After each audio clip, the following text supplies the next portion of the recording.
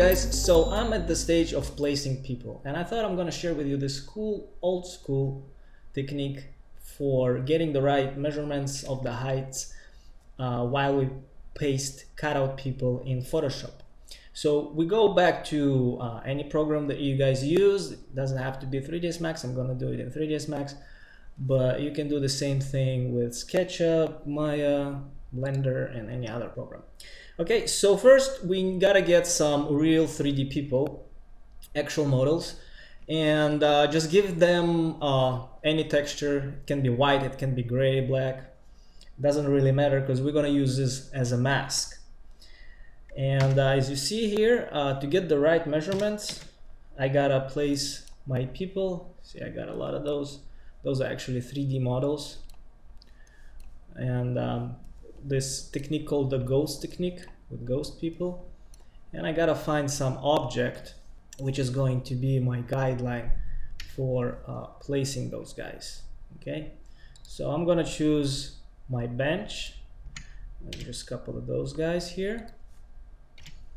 L Z and we'll see. That this bench people are a little bit slightly bigger because the whole space is um, huge. So placing really sm tiny, small people exact of a size can be a little bit unrealistic. So we want to make it beautiful. In that case, I'm going to make my people a little bit bigger, just a smidge, not too much. So you can see this is the bench. And um, that's the person related to the bench. So if the bench seat is right here, kind of somewhere here, it's about a little bit above the knee. So that's about the right size. But uh, I got them a little bigger, as I said before. Maybe like 105, 110% bigger. Okay, so I'm placing those 3D people and um, I'm removing glass if I'm gonna put them inside those buildings. I have to remove the glass. Otherwise, when we render mask, if those people behind some object um, if it's uh, stairs or something like that, it will cut them in half. But if it's behind some solid object, they will not be rendered. So I'm going to use this cool render mask free plugin was made by Ivan Tepavicharov and you can download it for free. There's a lot of documentation. You can get a bunch of other rendering passes with it, but we are going to use it for the mask. So I'm going to go back to my Max and launch that plugin. I've made a shortcut, Shift R. After installation, you can uh, make shortcuts for this plugin. I'm going to show this how to do in the training. And uh, we need to select our people. But first, if you have a glass, you need to hide it. So let's go hide my glass.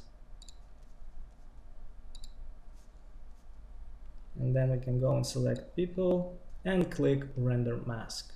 Alright, so the render was done fairly quick.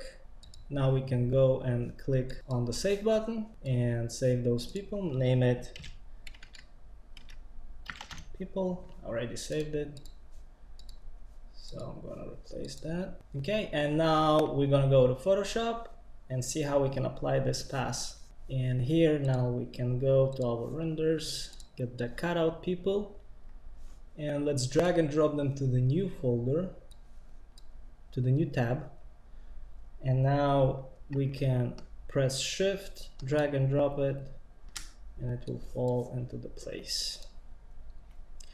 Okay I'm gonna place my people between the trees because they need to be behind trees but before my first lighting pass. And we need to remove the blacks as we know, screen mode removes the blacks. Voila, we got our people. So as you see, if you place them before your objects, they will go over your vegetation.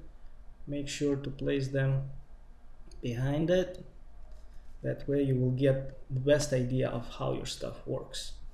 Now for placing the people, I'm gonna use free cutout people that actually just came out. I, wait, I visited uh, viz-people.com and they have free cutout version 4. It's a combination of a bunch of their packages. I worked for Kobe Carp for a year and we got I think five or six packages of those people and this one is a combination of casual and um, business and night and I think even swim pool we can see here a woman with a swimming suit okay so you can download it for free completely free. And if you look for free cutout people on Google you can find a bunch of other folders. And we're also giving some of those with uh, the Photoshop for Architects training.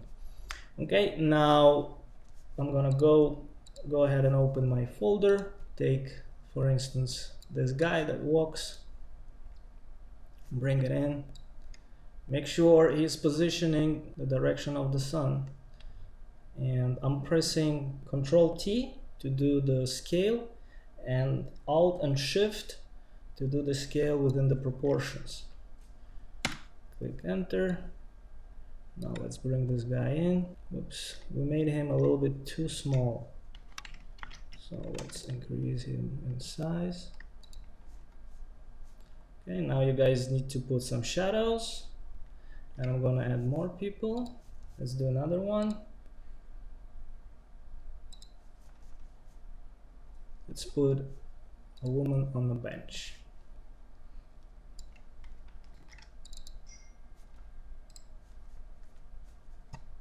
this guy still looks a little bit too small now, uh, the good thing about placing those people, when we drag and drop them, as you can see here, they've been placed as an element.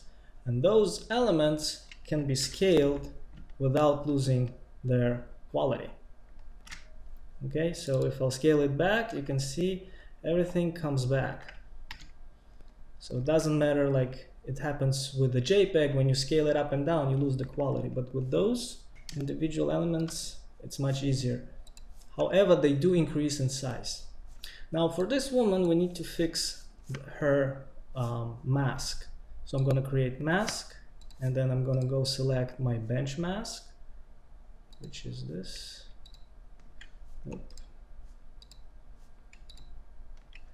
Yep.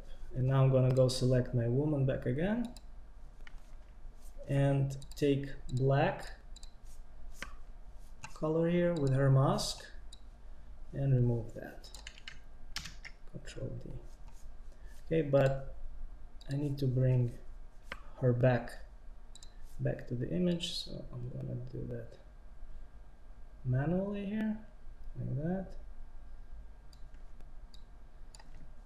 pretty good also would be good to place her reflection in the water okay but generally speaking this is how you use this old school technique for blocking out your cutout people with render mask and using it in Photoshop in order to get the right proportions for placing the cutout. So I hope you guys enjoy it. There's more stuff to come. Share it with your friends. This is Alex, your V-Ray guide. Ciao.